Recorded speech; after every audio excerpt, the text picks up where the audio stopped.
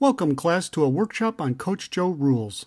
In this lesson, we will review Coach Joe rule number six, which states a class should do only one thing. Notice this cell phone service class contains code for phone calls and text messages and installing apps and much more. If you need to use the word and to describe this class, that should be an indication it is doing more than one thing. This will become a big problem in the future if not corrected. A class should be used in one of two ways. To hold a data structure that has things, or hold object behavior that does things. Doing both is considered a hybrid class and means the class is doing more than one thing. Review Coach Joe rule number 34 for more information. In the opening example, the cell phone service class was likely created to only handle phone calls. It is common for an application to evolve over time. When new features like text messaging and apps are added, you should be asking yourself, is the class still doing one thing? If not, it might be time to consider a design change with this class. When you determine the class is doing too much, you have a few options.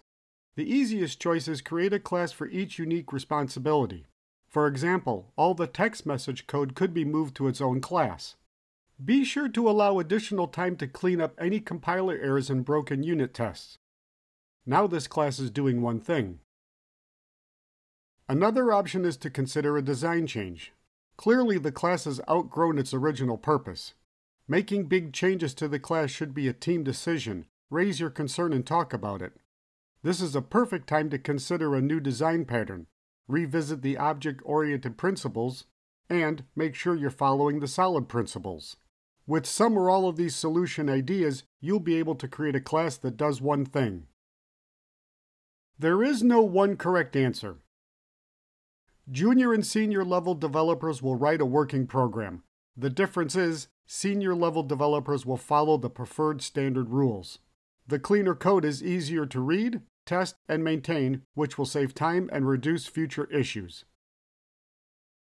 Leave a comment down below with the solution approach you took to correct a class that had more than one responsibility. Look for other helpful Coach Joe videos. Remember, future senior developers, make it work, prove it works, then make it better. Ready, break!